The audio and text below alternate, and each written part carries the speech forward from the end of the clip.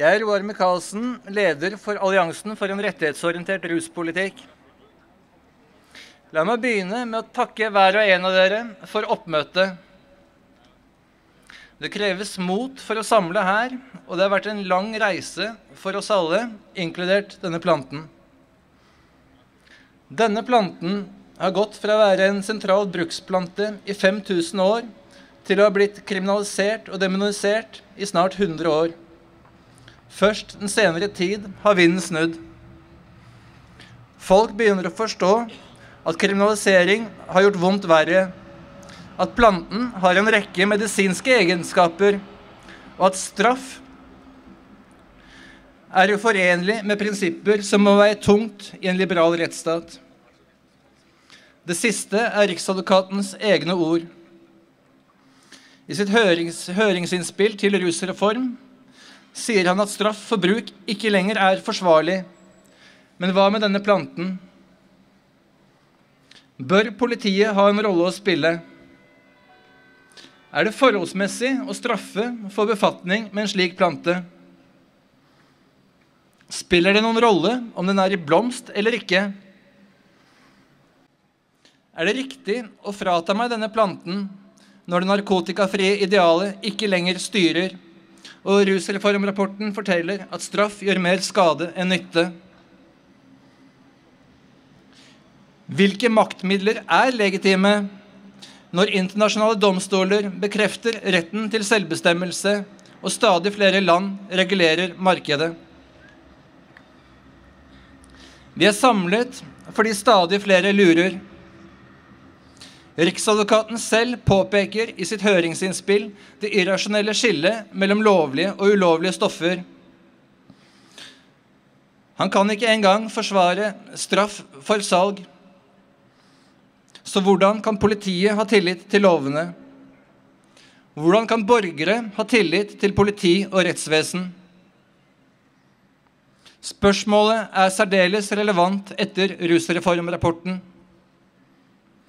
Denne rapporten viste at offentlig panikk har formet ruspolitikken, og det er en nær sammenheng med menneskerettighetsbrudd. I den grad offentlig panikk har formet politikken, vil ikke prinsipper som likhet, forholdsmessighet, selvbestemmelse og frihetspresumpsjon være tilstrekkelig vektlagt.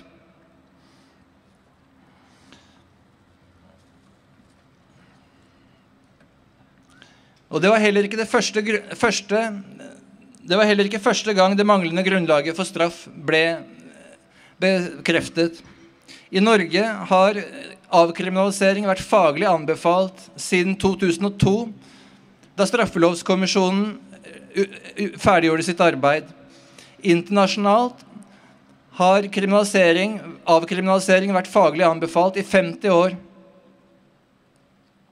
Vi så dette da president Nixon sin nasjonale cannabiskommisjon i 1972 konkluderte med at avkriminalisering var veien å gå. Det samme gjorde rapporter i Canada, Nederland og andre steder. Men bare nederlenderne fulgte sine egne ekspertutvalg. Coffeeshop-systemet ble resultatet. Dette systemet skulle skille cannabisbruk fra hardere stoffer og Nederland har lykkes bedre enn mange land på denne måten. Allikevel, Nederland ble et transittland for eksport videre, og internasjonale kriminelle organisasjoner fikk mye å si. Den senere tid har flere andre land lært av dette her, og med det har vi fått en legaliseringsbørge verden over.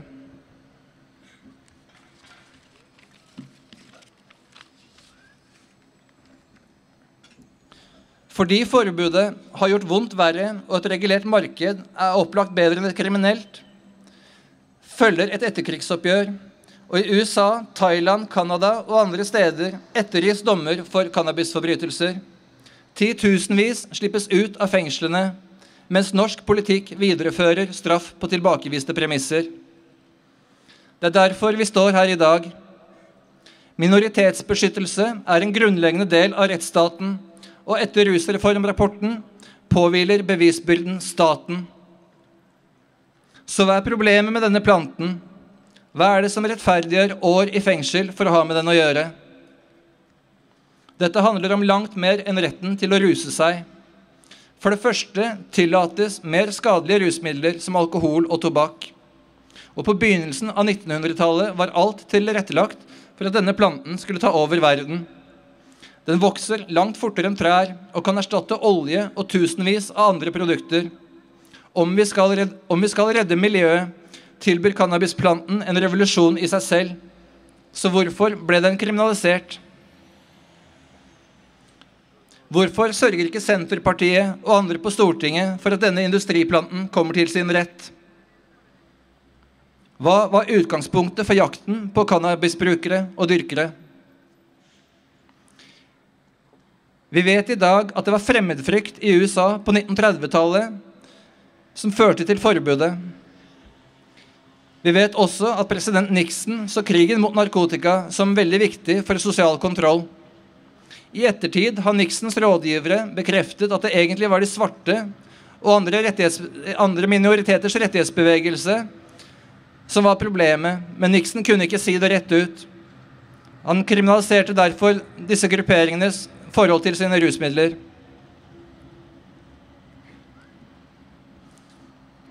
Det hjalp ikke at Nixons egen kommisjon konkluderte med at avkriminalisering var veien å gå i 1972. Innen da hadde forbudet fått godgjøre seg i lang tid, og tunge interesser hadde investert, hadde investert interesse i å opprettholde status quo. Hvert år ble nye millioner mennesker frarøvet frihet, men stadig flere eksperter advarte mot utviklingen. Slik gikk årene, også her hjemme. Jo mer ressurser som ble gitt til narkotikabekjempelse, desto mektigere ble apparatet som ivaretok og opprettholdt nulltoleransen. I 60 år har dette apparatet gjort brukernes hverdag tøff. Men narkotikaproblemet har ikke forsvunnet.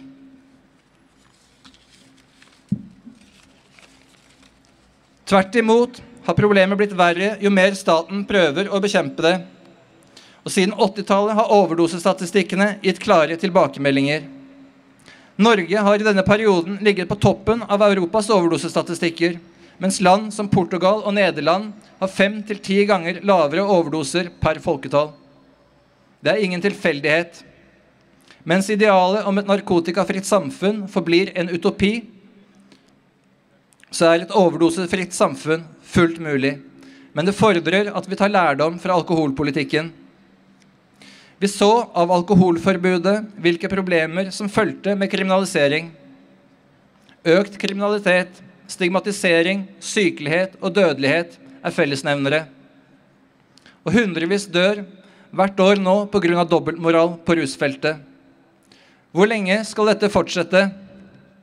Hvor lenge skal offentlig panikk få råde i ruspolitikken? Det gjenstår å se, men det er ikke opp til politikerne å fortsette som før. Rettsstaten setter grenser for hva slags styre vi må finne oss i, og ansvarlighet for en politikk som hvert år koster 6,5 milliarder kroner, et tusentalls fengselsår og hundrevis av menneskeliv, begynner å bli et folkekrav. Vi kjenner alle noen som lider eller som har gått under som et resultat av forbudets stigma. Og det er grunnen til at vi står her i dag. Vi er her for å minne politikerne om at vi lever i en rettsstat med en grunnlov som setter grenser. Vi er her for å minne om at kriminalis kriminalisering, avkriminalisering har vært faglig anbefalt i 50 år, og at menneskerettighetsbeskyttelse er nødvendig etter rusreformrapporten. Vi er her for å kreve vår rett, og ettertiden vil holde de der oppe ansvarlige, helt sikkert. I 60 år har politikerne tatt nasjonen ned et konstitusjonelt sidespor. Og en sannhets- og forsoningskommisjon er påkrevd. Det er dette Arod vil fortsette å arbeide for. Og denne markeringen er et viktig skritt på veien mot et etterkrigsoppgjør. Det er intet mindre enn historisk at vi samles her, og vi blir hørt av stadig flere. I forbindelse med denne aksjonen har vi vært i kontakt med flere politikere som støtter en ansvarlig ruspolitikk. Og det er ingen tvil om at de har valgt rett side av historien. I utgangspunktet var fire partier påmeldt for å holde appell her i dag. Men det gikk ikke slik. Tabuet er fortsatt tydeligvis for stort. Men Sosialistisk Venstreparti ville gjerne stille. Problemet var at ingen representanter kunne delta. Det, samme gjelder Rødt og Fremskrittspartiets Ungdom, som lenge var påmeldt, men som uteblir fordi heller ikke de hadde noen representanter med anledning til å stille. Det samme gjelder Høyre. De ønsker oss lykke til, masse lykke til med denne markeringen, men heller ikke de har anledning til å stille.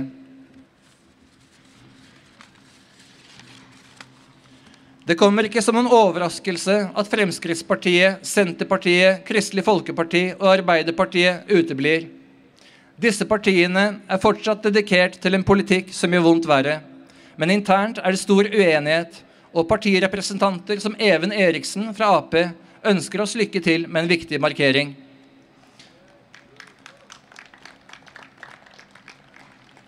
Det gjør også AUF. Det er selvsagt lett å forstå at mange uteblir fra en markering som dette, selv om de støtter saken. Abid Raja, f.eks., er i Gøteborg, så det passet ikke, men han er med oss i spirit. Arild Hermestad, leder for Miljøpartiet, var i utgangspunktet påmeldt, men avlyste rett før fordi det var for kontroversielt å delta. Det sier alt om den offentlige panikken som har formet politikken, at denne planten ble for mye selv for Miljøpartiet. Denne planten, som mer enn noen annen kan redde miljøet og tilby samfunnet vekst.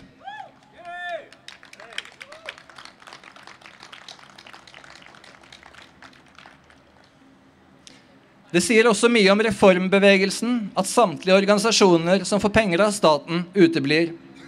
De snakker om en mer human ruspolitikk, men ingen av dem vil stå opp for denne planten eller de forfulgte grupperingene på rusfeltet. I stedet er de med på å bevare en blindsone som gjør videre overgrep mulig. Slik fortsetter problemet med vilkårlig forfølgelse. Selv Norsk senter for menneskerettigheter, som utga sin rapport i går, ser vekk fra dette bildet og er med på å opprettholde blindsonen. Amnesty derimot følger situasjonen nøye og, vil, og er veldig interessert i denne, denne, aksjonen, men heller ikke de har anledning til å stille. Det skal sies at vi ikke bare står her for de forfulgte grupperingene på rusfeltet. Vi står her også for de som jobber med lov og orden, for ansatte i politi og påtalemyndighet, kjenner alle økt, økt usikkerhet i sin hverdag. Vi håpet derfor i det lengste at Are Skjold Frykholm, lederen for Politijuristene, ville holde en appell her i dag. Han har tidligere etterlyst ansvarlighet og sagt at en lapp lappeteppeløsning ikke holder mål. Allikevel, etter å ha rådført seg med styret, valgte også politijuristene å utebli. De ønsker oss allikevel lykke til med denne markeringen, og vi håper alle at politikerne vil tette et lovløst rom. I den forbindelse gir vi nå ordet til Pasientforeningen for sikker cannabisbruk. Denne gjengen med medisinske brukere har lenge kjent forbudets dobbeltmoral på kroppen, og de har vært skadelidende, skadelidende mer enn mange. Vi ønsker derfor Ralph Rossell velkommen.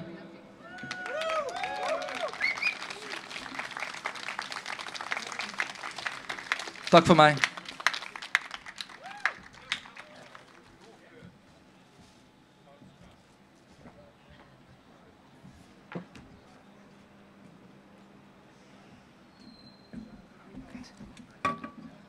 La oss gi Roar Michaelsen og Are en stor applaus for alle ting vi har oppnådd i dag. Og denne aksjonen. Jeg skulle hilse masse fra Kristoffer, som er min medstifter i Paskan. Og Paskan vil gi en stor takk til Lars Mathias Undheim og Aina Mumbi for å ha hjulpet så mange av våre pasienter. Det er så godt å se at det er bare flere og flere som samler seg på disse viktige og historiske demonstrasjonene. Jeg vet òg at det er mange som ikke tør å vise seg på disse cannabisdagene. Og jeg pleide å være redd for å komme til disse samlingene foran Stortinget sjøl pga. all stigmaen. Men sånn er det. De fleste tror jo at politiet kommer til å markere dem som kriminelle med en gang de viser seg fram på disse protestene. Vi burde ikke være redd for å samles. Til og med leger og advokater og kjendiser våger ikke å vise seg fram, selv om de fleste er veldig glad i denne planten. Aldri burde noen diskriminerte eller stigmatiserte grupper være redd for å samles. Det burde aldri være sånn. Følte meg så naiv hvert år jeg tenkte nå blir det endringer. Dette året kommer forandringen. Snart kommer det. Men nå snakker vi endelig mer om dette. Ofte nok til at majoriteten begynner å forstå at ingen burde bli straffa for å bruke cannabis eller andre rusmidler som er mindre skadelige enn alkohol. Jeg heter Ralf. Jeg er fra Paskan, pasientforeningen for sikker cannabisbruk. For de som ikke vet, så jobber vi for å avdekke, dokumentere, stanse og forfølge usaklig diskriminering av pasienter og deres pårørende. Jeg er selv en medisinsk cannabispasient. Jeg lider av bekterevsykdom, og cannabis har reddet livet mitt på flere måter. Jeg har sett mange ulike lidelser bli helbredet av denne planten. Fra epilepsi, Parkinsons og Alzheimers til kreft i forskjellige stadier. Denne medisinen har òg redda livet til min mor. I 2007 ble hun diagnostisert med kreft i halsen og i 2012 fortalte legene at det hadde spedd seg til ribbein og skjoldbruskkjertelen. Strålebehandlingene ga ingen positive resultater, og da sa de til henne at hun hadde bare noen år igjen å leve. Det skapte i meg en enorm drivkraft på å undersøke alt mulig som kunne hjelpe mot kreft. Til slutt leste jeg om Rick Simpson fra Canada som påsto at han hadde kurert kreftpasienter med cannabisolje. Dette begynte jeg å gi til, mor, til min mor. Etter noen måneder ble mora mi faktisk kreftfri. Men ikke uten at jeg, fikk, at jeg selv fikk konsekvenser. Dette ble jeg straffa for og sonet min tid i fengsel. Men mora mi er helbreda og lever et godt liv i dag.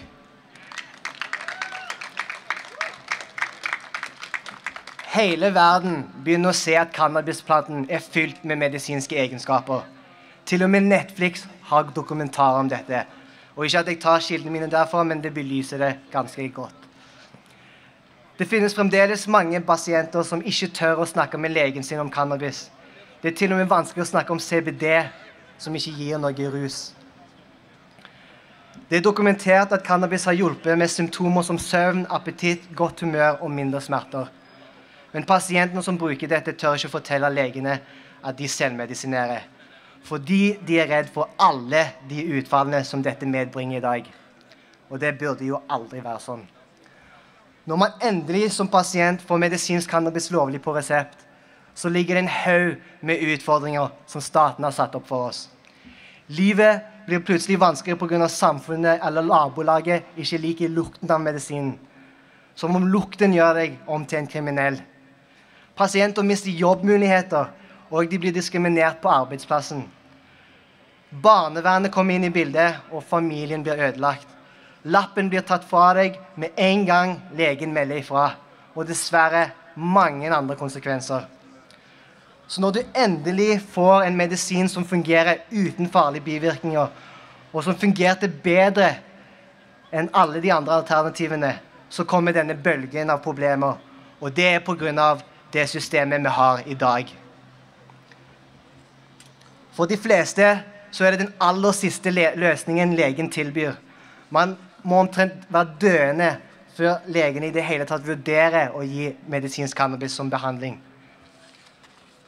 Og Da må du gjennom et strengt system der du må nesten vinne lottoen for å få det på norsk resept. Svært få pasienter har fått utskrevet medisinsk cannabis i Norge og samtlige pasienter har alvorlige problemer med å få utlevert medisin gjennom norske apotek. Det kan i tilfeller ta opptil to måneder før det kommer på lager. Det leder til ekstreme situasjoner. Spesielt under koronatiden, der helseministeren ville at medisinske cannabispasienter som var i høy smitterisikogruppen, skulle reise til Nederland for å hente ut medisinen sin. Det koster oss nesten en hel månedslønn for å få dekka dette. Medisinsk cannabis er òg overpriser her i Norge. Det koster flere tusen kroner mer enn i andre land. Som eksempel må man betale nesten dobbelt så mye for medisinen enn i Nederland. Vi må finne ut hvem som har ansvar for prisene, og hvorfor de legger så mye opp på prisene her i Norge. Igjen, det burde ikke være sånn.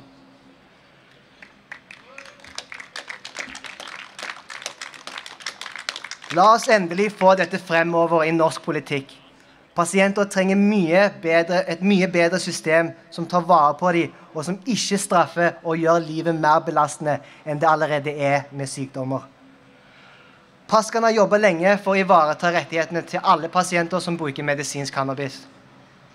Vi har mottatt mange tøffe og tragiske historier for både pasienter og pårørende. Vi vil at dere skal vite at vi vet at det ikke er lett, men vi er modige som står her i dag, samla i dag. Norge er et av verdens ledende land. Vi òg burde få lov til å forske på dette og få tilgang til tryggere og mer effektiv medisin, som i USA, Canada og Thailand. Det finnes jo tusenvis av måter å bruke denne planten på, fra medisinsk cannabis til industrihamp. Etter alle disse årene der aktivister og menneskerettighetsforkjempere har diskutert og hatt flere debatter, finnes det nå mer enn nok forskning på denne planten. Nok til at pasienter burde få trygg tilgang til denne medisinen uten å måtte eksponere seg for det kriminelle miljøet. Nok til at folk skal få lov til å dyrke til eget bruk. Og i hvert fall nok forskning til å ikke bli straffa for å ta en joint.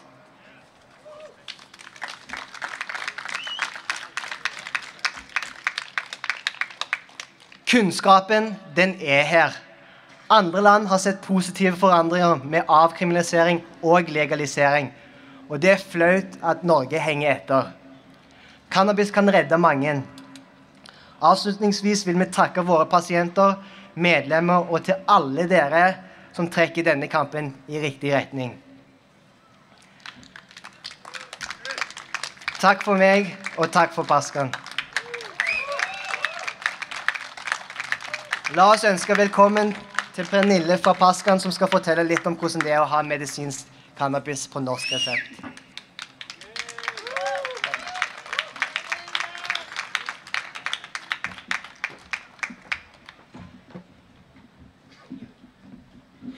Hallo, alle sammen. Jeg trodde egentlig aldri jeg skulle stå foran her. Eh, Det føles veldig blottet, egentlig, men egentlig ikke mer blottet enn å være foran politiet nakne klokken tre på natta i tollen. Mye av det Ralph snakket om, er egentlig noe av det jeg skal gå litt dypere inn på, og det gjelder medisinen vår. Eh, For det første så må vi finne en fastlege som er villig til å høre på oss, og ikke bare ser siden av norsk legeforening som sitter der og mener at man skal heller gå på metadon og heroin. Man har heller ikke lyst til å ta lykkepiller. Så da sitter man og leter i mange måneder etter en lege som gidder og i det hele tatt tenker på at det finnes noe som heter cannabis. Og når du først finner denne, dette mennesket, så må han være villig til å skrive ut en legeerklæring, så du kan dra til Nederland 1600 km fordi Norge ville være så ufattelig miljøvennlige. Så da sender vi da pasientene våre ned til Nederland for at de skal betale flybillett og hotell, og bare glemme dem. For det som skjer da, er at vi møtes i tollen som kriminelle.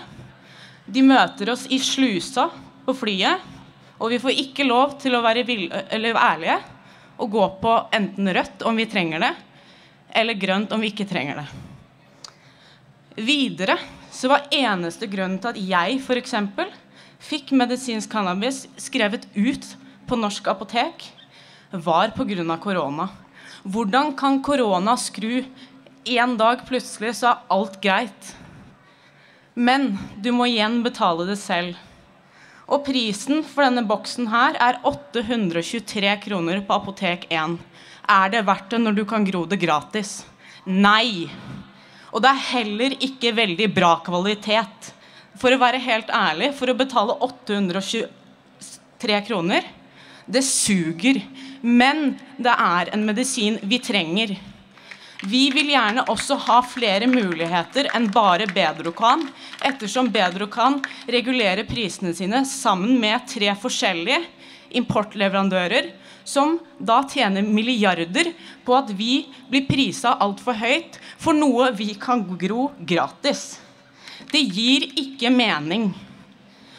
Og videre da, når man ber om en resept, som kan videre da være en resept som du kan ha utover måneden, og ikke bare én dag av gangen, så ser da legen på deg som en kriminell, og de tror at du selger medisinen din for at du skal få råd til det du selv bruker.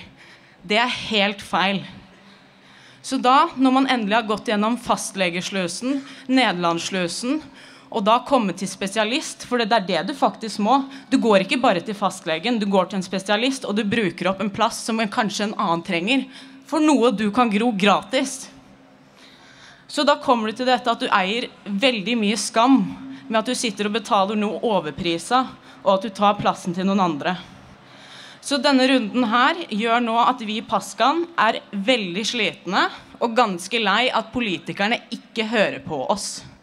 Fordi det eneste jeg har lært med denne runden her, er at folk fortsatt ikke hører. Det er ikke noe mer skadelig å bruke medisinsk cannabis. I hvert fall ikke mer skadelig enn å røyke tobakk. Jeg, jeg veide veldig mye mer før jeg fikk lov til å bruke medisinsk cannabis. De hadde brukt 15 år på å finne ut hva som var galt med meg. Og det de gjorde da, var å stenge meg inne i et rom på skolen i to år. Det de ville gjøre så, var å gi meg lykkepiller. Men de ville aldri, aldri, aldri funnet på å gi meg noe jeg kunne gro gratis. Det gir ikke mening. Og da videre, kjære politikere, er det sånn vi egentlig skal holde på?